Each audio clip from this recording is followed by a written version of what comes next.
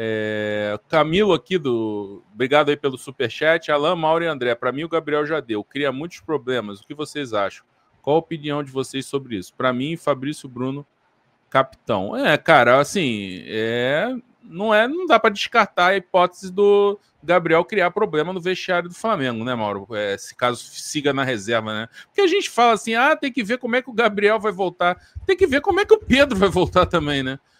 se Pedro voltar voando, Gabriel joga como? Quer dizer, dá para jogar, mas nesse 4-3-3 fica mais difícil, né? É, cada vez mais, né? Cada vez mais. Eu acho que assim, o entendimento é você parte de uma, de um, do princípio de que o Gabriel hoje seria reserva. Ele vai ter que treinar bem e jogar bem para ganhar a posição. Mas a priori ele seria reserva. E o Pedro fez 33 gols na temporada passada, mesmo com períodos bem fraquinhos, do ponto de vista técnico, né? Sem ser Até o sem jogar, né? Teve um momento Até sem jogar. titular. Isso, e outra coisa, né? É, aí jogava poucos minutos ou não entrava, como no jogo da confusão que ele não quis aquecer, né? É, e acabou sendo agredido lá absurdamente pelo Pablo Fernandes, do auxiliar do São Paulo, preparador físico.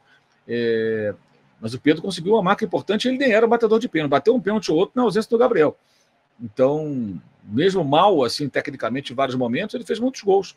Numa temporada confusa, que ele passou, inclusive, por esse detalhe que é um negócio que mexe com o cara. O cara foi agredido, gente, dentro do vestiário. Porra, ficou tudo noticiário. E ele, ainda assim, teve números importantes. Se um fez 20, outro fez 33, porra. Diferença grande, cara. Não é pouco, não. Se contar, eu não fiz ali o levantamento também do Taja, mas imagino que o Gabriel jogou mais minutos. Né? Especialmente porque você conta aí com o estadual, né? Quando o Gabriel jogava mais do que o Pedro, né? é, muitas vezes. Verdade. Então, agora, o estadual é um, é um, risco de fato, né? Assim, de uma avaliação precipitada. Saírem alguns gols e tudo, e o pessoal que ah, o, o Gabigol voltou. A gente só vai saber isso mais adiante.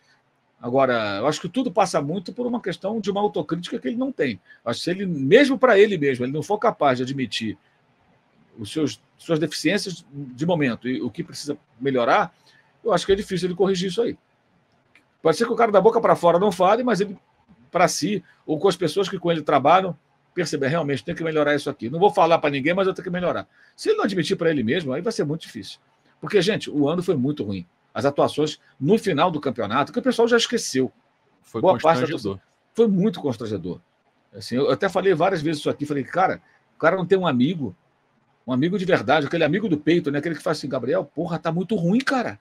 Você não tá jogando, tá pegando na bola, o que que tá acontecendo? Pô, tem que fazer alguma coisa, tem alguma coisa errada aí, bicho. Sabe? O cara tem que. Senão ficar achando que tá tudo bem. Ah, não, foi contusão, ah, porque eu estava com dor, ah, não sei o quê. Sempre terceirizando responsabilidades. Isso é péssimo para ele.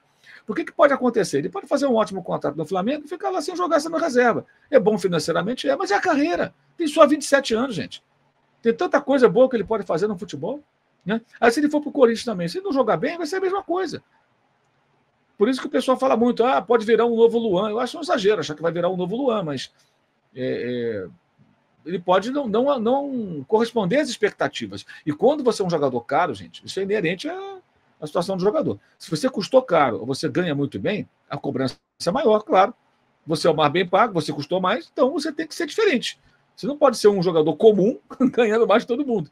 Em qualquer ambiente. O cara que ganha mais tem mais responsabilidade.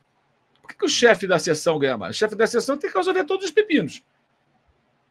Por isso que ele ganha mais do que o funcionário que é subalterno dele. O jogador que ganha mais é como se fosse o chefe ali, do ponto de vista financeiro, ele faz mais diferença. Então tem que ser um cara especial, um cara que faça a diferença.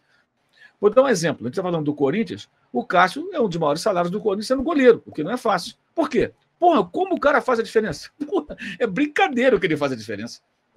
É brincadeira. Não fosse o Cássio, gente, o Corinthians já teria talvez sido rebaixado, já teria sofrido derrotas assim horrorosas. Não teria ganhado a Libertadores de 2012, consequentemente não ganharia, não sim, ganharia sim. o Mundial. O Cássio é um monstro, cara, assim, no tamanho é. e no futebol dele como goleiro. Então, ele é um de maiores salários sendo goleiro, que é uma posição difícil você virar um protagonista a esse ponto, mas ele até hoje ele faz a diferença. Então, assim, o jogador que é ponta de lança ali do salário e do custo que ele teve para o clube, ele tem que ter essa preocupação, na minha opinião. O De Bruyne tem que entrar em campo quando volta da lesão agora e pensar, e, cara, eu tenho que fazer diferença. Eu sou um dos mais caros do elenco, sou o bambambam bam, bam nesse negócio. O Haaland tem que fazer gol a rodo, porque ele é o Haaland, cara. O Álvares, que é muito bom, não tem essa cobrança. Porque o Álvares, é o Haaland é o Haaland. né? É o maior atacante do mundo, um negócio de maluco. Pá, então tem que fazer. É assim que funciona. É assim que funciona. Pega o Vinícius Júnior do Real Madrid lá no começo, e agora? Ele ganha mais, já renovou o contrato. Mas a cobrança é maior, a expectativa é maior. Tem que entregar, amigo. Tem que entregar. Não dá para viver só do que fez antes, não.